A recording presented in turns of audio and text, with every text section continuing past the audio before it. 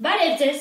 ես Անահիտն եմ։ Առաջարկում եմ միասին գտնենք այն թվերը, որոնց գումարը 480 է, իսկ թվերից մեկը մյուսից մեծ է 5 անգամ։ Եկեք փոքր թիվը նշանակենք 1 մաս։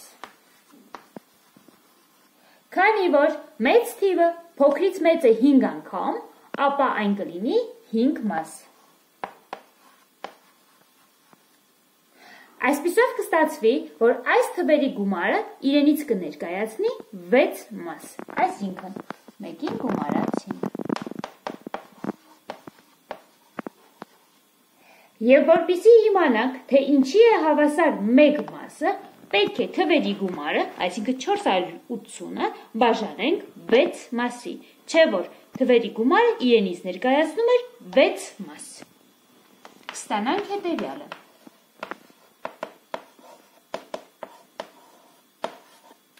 Այսպիսով ստացվեց, որ մեկ մասը հավասար է 80-ի,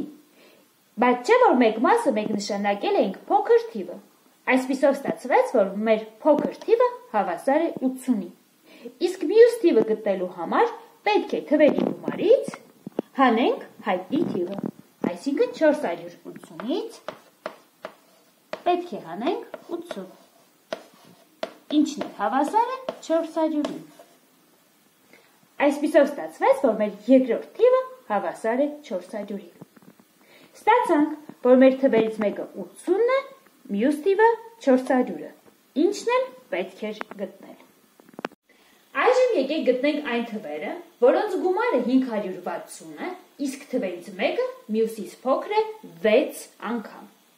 Եկեք փոքր թիվը նշանակենք 1 մաս։ Քանի որ Փոքր թիվը մեծ թվից փոքր էր 6 անգամ, ապա մեծ թիվը փոքր թվից մեծ կլինի 6 անգամ եւ հետեւաբար հավասար կլինի 6 մասի։ Այսպիսով կստանանք, որ այս թվերի գումարը իրենից կներկայացնի 7 մաս։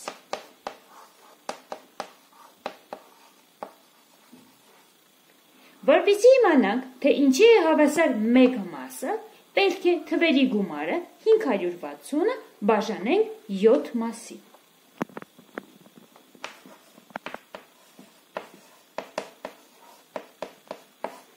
Ինչն է հավասար է 80։ Այսպիսով ստացվեց, որ մեկ մասը հավասար է 80, բայց չէ որ մենք մեկ մասով նշանակել էինք փոքր թիվը։ Այսպիսով ստացվեց, որ մեր փոքր թիվը հավասար է 80։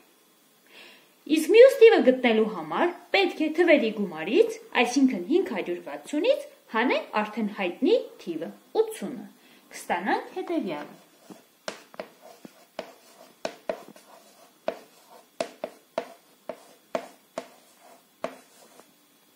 Ստացվեց, որ մեր երկրորդ թիվը 480 է։